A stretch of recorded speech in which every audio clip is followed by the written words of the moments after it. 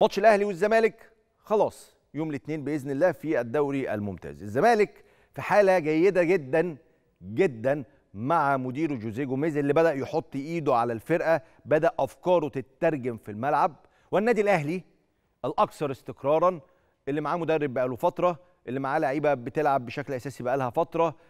الأهلي هو الأكثر استقرارا الزمالك الأكثر على مستوى الفوقان دلوقتي. وبالتالي إحنا من المفترض نشوف مباراة كبيرة فنيا أفضل بكثير من المباراة بتاعه نهائي كأس مصر اللي كانت فنيا مش حلوة. مش حلوة خالص. لا تليق بصراحة لا بالأهلي ولا بالزمالك.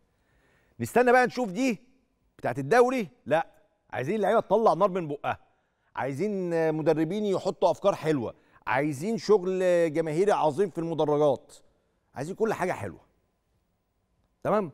ده على المستوى الفني